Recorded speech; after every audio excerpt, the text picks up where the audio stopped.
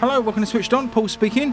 And um, having a little bit of an exclusive look at a game coming out on the eShop at the end of December, and that's Rush Rally 3, which comes from Brown Monster Games. And believe it or not, you might be uh, absolutely amazed when you see this game in action. This is made by one person. Everything you see in this game, from the graphics, the physics, everything is made by one person. Quite incredible. Um, this game has been around for quite a while on mobile devices, on the Android and iPhone. Uh, Rush Rally 1, Rush Rally 2, and uh, obviously most recently Rush Rally 3, and now it's being ported to the Switch. Um, and I have to tell you, if you're a racing fan, you're going to be blown away. Firstly, as I say, it's at 23rd of December, it's £11.99 and $14.99, so a really nice budget price. Um, but I have been having so much fun with this game. I've, I've followed this game for a little while on iPhone, and uh, it's not quite, you know, when you're playing the um, iPhone version, you've got the touch screen controls. It's never quite the same, although Rush Rally 3 has got uh, controller support now with iOS 11. But, um, you know, it's much nicer to use the controller uh, which the Switch brings. So let's just have a look around this game. I'm just going to dive straight into a single stage just while I'm chatting away here. And then we'll come back and have a look at some of the um, other features in a little while. Let's go to a different rally because I've done uh, Finland or Iceland, wherever it was, Finland. Um, we're going to go to Mexico. Be a nice dusty sunny track. This is the first car I've unlocked. There's plenty of cars um, in all different classes. Now there's nothing uh, licensed here, of course, being from a small um, developer, but you can tell what the cards are. I mean, that's a, a Ford Escort, isn't it? And look, a Fjord Rally, but uh, a Ford Escort. Yeah, Nissan Micra, Lancer, Impreza. So you see, they're all sort of um, based on real life cars, and um, Look at that. Classic Colin McRae Subaru Impreza. Um, this game has got uh, customization of cars as well. So, I mean, you're just going to be amazed, really. Basically, when you uh, when you see this game in motion and as we go through it a little bit more, you're going to be absolutely stunned, I think, by uh, what this game offers. Certainly for the price. And as I say, consider that it was made by one guy. Uh, quite incredible. Performance in this is absolutely superb. Um, runs default 60 frames a second. Although it has tons of options. If we go into the options here you can actually change um, per device. So whether you're in handheld or TV mode we're in TV mode at the moment. You can see it's 1080p 60 frames a second and you can change any of these options. Absolutely superb options to have. You know, 30 60 or maximum frame rate that you can achieve turn off all these effects. You can turn up the detail. Absolutely incredible. You can even if you want to turn down the resolution. Why you'd want to I don't know but there you go all the way down to 360p you can see how blurry that gets. Absolutely amazing stuff. Um, one of the really cool things about this game as well, and it was a really good feature of the iPhone version because obviously uh, phones and iPads are a little bit more limited for space, or they were back in the day when uh, when this game first came out. But this game is um, just the, the graphics. are procedurally generated on the fly. Now the track layouts are the same, so this isn't some sort of random roguelike where you're going to get different tracks every time. The actual sort of um, stages are the same tracks, but what I mean is that the graphics are loaded in from just a few assets. Very, very clever technique. So let's get into a rally. You'll see how smooth and how quick it is. It's going to be awful, of course, because I can't really hear the uh, narrator, the uh, who's helping me with the turns. But I'll do my best. So please forgive my rubbish driving. But if you've been watching Switched On for any amount of time, you'll be well used to this by now. Um, so you can see the graphics are a little bit basic. Certainly the car interior is. I mean, I quite like the um, the environments, and as I say, considering they're being drawn from just a few assets uh, on the fly, very very clever technique. Keeps the install of this game very small. I think it's like 400 meg. The install of this game, which is absolutely incredible for the amount of tracks and cars it's got. Superb technical achievement. Um, So as I say, the interior is a little bit basic, but the uh, the the outside's quite cool. Certainly, I would say no worse than the most recent WRC8, which uh, at times I felt just had absolutely awful graphics, especially considering the the sort of budget and price point that was.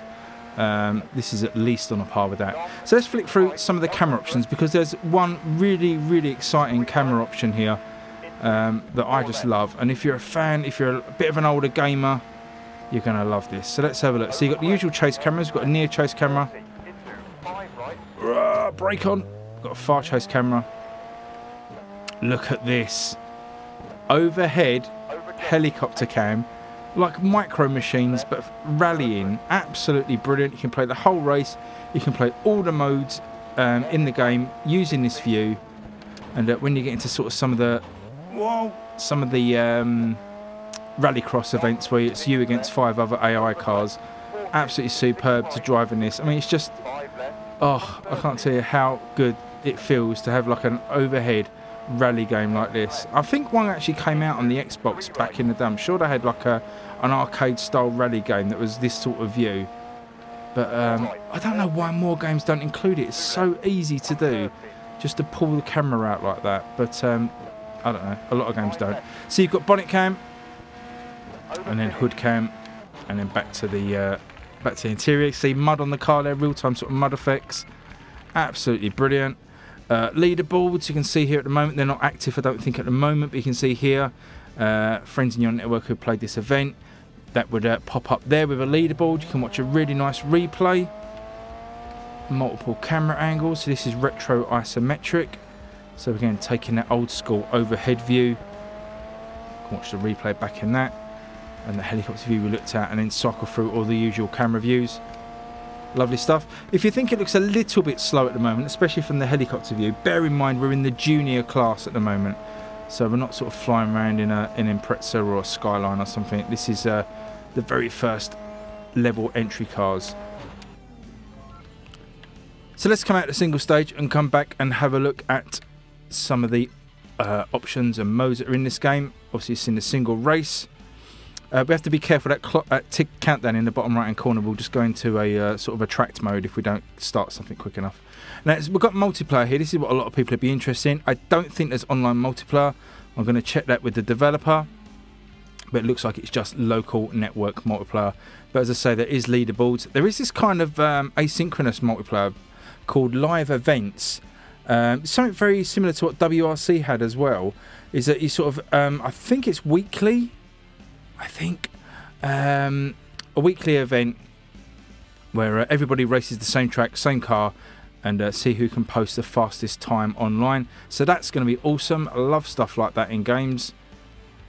And Rallycross, I'm going to show you in a second. Skill games are really fun. Uh, first one I tried of that, you're racing against oncoming traffic. So it's a lot like a Sunday morning drive here in the UK. And let's have a look at the garage. We've had a quick look at this, but let's have a look at some of the closer things. Um, you've got upgrades. You've got here, you can change the decals. So for you fans of uh, sort of customization and creation in games, you've got all these features. I don't know how they work yet properly, but uh, look at this, really cool in-game editor.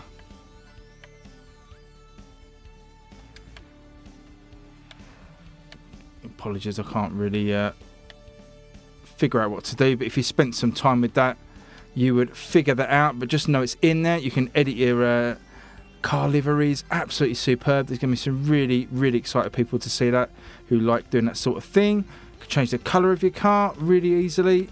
No problem with that. Go to a green or yellow car. Yellow looks good. Can change the wheel colour. Or maybe not black. Oh, maybe not any of those, but let's stick to a nice silver. But it's there if you want it. You can change the colour of the mud flaps. Okay, that what should we go with? Let's go with blue. That looks really cool, actually. It's very Swedish, doesn't it? You've also got upgrades generally. You can buy upgrades for the car. So you've got all these different sorts of wheels. You can see the price in the top right hand corner. Uh, and the coins that you've got at the top of the screen, you earn them for just winning races and taking part in other events. So a lot of customization. If you're into your car customization, You're going to be super happy here. Can do setups.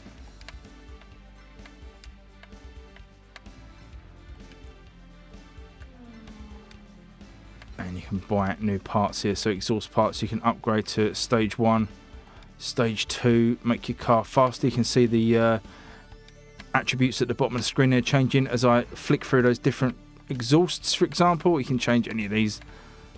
Uh, new turbo. I'm not a massive fan of uh, when games have this um, sort of fixed cursor. I prefer a floating cursor.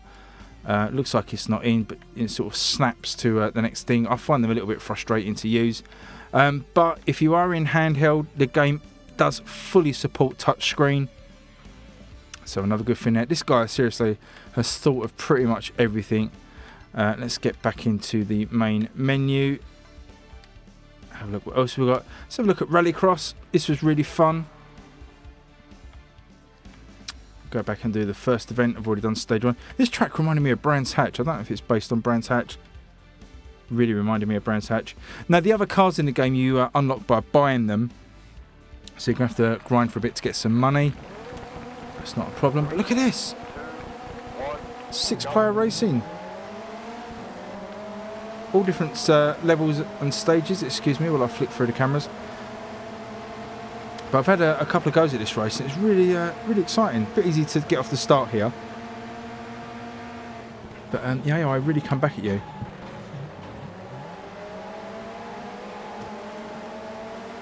Especially if you take corners as badly as that. But look at these tracks, cool tracks like rally tracks. Goes from um, gravel to asphalt. No doubt there's going to be sort of snow and mud and rain as we go on through the game. probably won't do the whole race of this, just give you a bit of a flavour of it. And then I'll probably edit to the uh, back to the main menu. We could probably just start and quit, to be honest, can't we? But just give you an idea. We'll do one lap of this, just to give you an idea. Very, very cool. Um, just while I'm racing this as well, I spoke to the developer and he's still working on stuff in the game. There are new tracks coming as well, even though there's plenty here at the moment. Uh, new tracks are planned and new content, so he's constantly working on this one. I think he's been um, working on these Rush Rally games for so many years. So let's quit out of this and go back to the main menu. I'm going to have a look at the career mode. Or one of the other options actually. Let's have a look at the um, skill games because that was quite fun.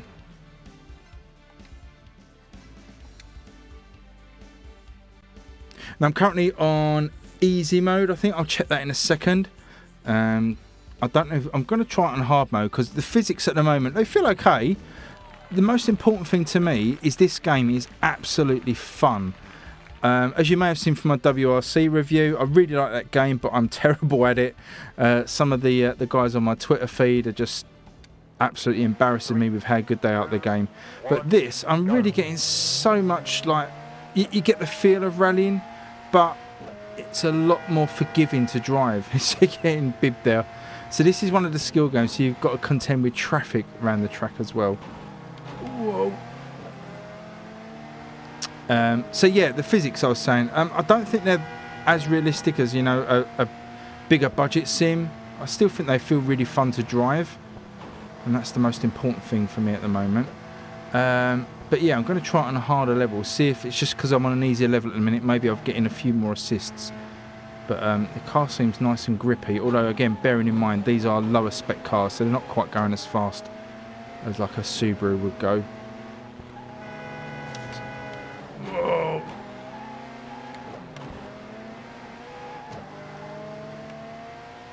Gonna write this car off. I've got some... Um, we'll come we'll come out of this while we're talking. Um, got some other exciting news as well. Talking of controls, as I said, the game is fully touchscreen enabled, uh, like it is on the iPhone. But most importantly, and quite excitingly, because a lot of you guys ask about this in racing games, the developer is working on um, GameCube controller support. I forgot what the controller was called, but yeah, GameCube controller support is being worked on. Should be there for day one, uh, from what I understand. So it's going to have um, analog triggers, just like Grid does. So that's really exciting news. Uh, so let's have a look here. Let's have get into a rally in a career mode. So, so we've got Finland, Sweden, Germany, and Britain in this Junior Rally Championship. Let's just get on and do this first stage to finish the video off. But hope you're liking the look of this one. Leave me a comment below what you think. It's kind of come out of nowhere. I did hear sort of um, rumours a, a, few months back that this was being ported, but then it sort of just popped up on the eShop out of nowhere. As I say, it's coming out on the 23rd of December. So it'd be great for uh, Christmas break. Just grab this one and uh, have your turkey and do some rallying. But as I say, for me at the moment, this feels like really fun to drive. So if you're more of a casual racing fan and struggle with rally games, and let's be honest, I did struggle um, with WRC and V Rally to an extent, although I, found V Rally a little bit easier than uh, WRC. But this just feels really nice. I mean, you've got those racing lines on the um, track as well, like a Formula One game. That wasn't in WRC makes it a little bit easier. You can obviously turn that off as well. We uh, whiz down this track.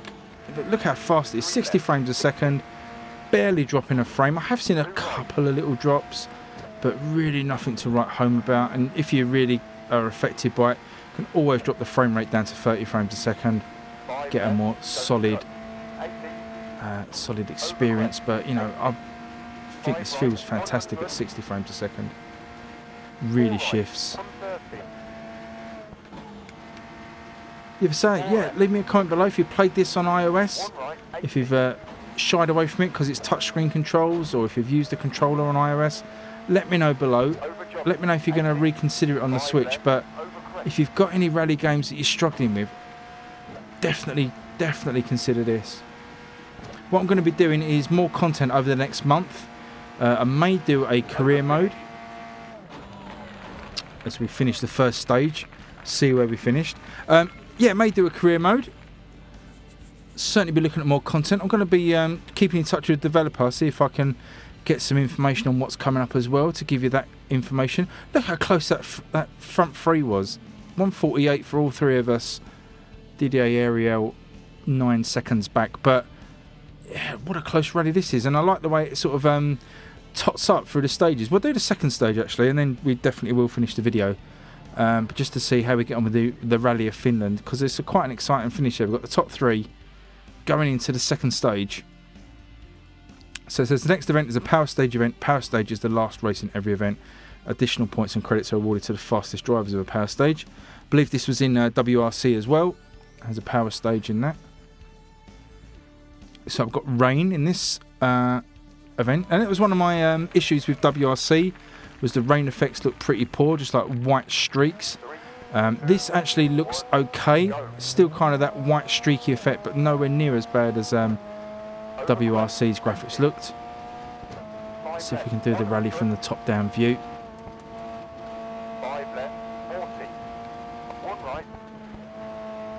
See, you still get the same experience, you still get the co-pilot call, you still get the track markings, Whoa, you still get my awful driving. Reverse. Go, go, go. That could have cost us. Not quite sure where that bar is in the top uh, to the left. I think it may be telling us how far off we are the other um, cars in the event. Let's go to a chase view. I know a lot of people like chase views in their games. Give you a little bit of footage of this.